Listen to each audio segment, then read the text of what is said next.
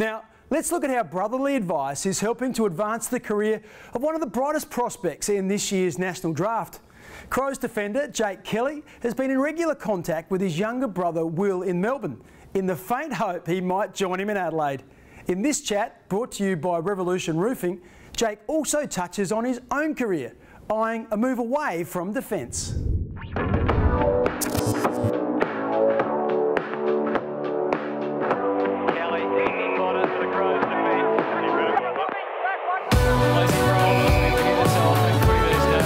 The recent under 18 national championships were another opportunity for Will Kelly to showcase his potential.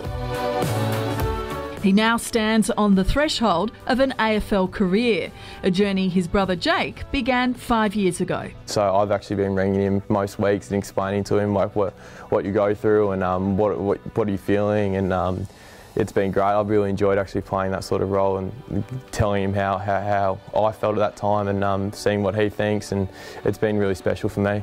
Jake and Will are sons of former Collingwood Premiership player Craig Kelly.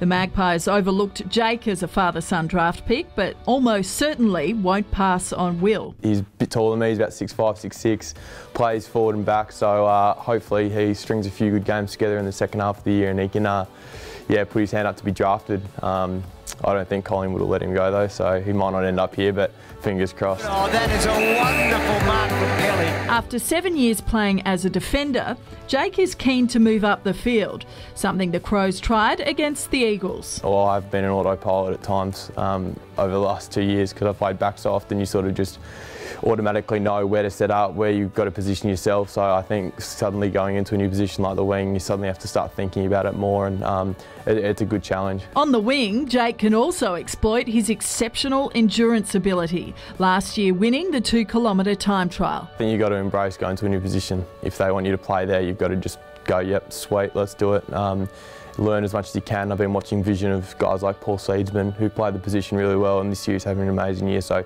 I can learn off guys like that.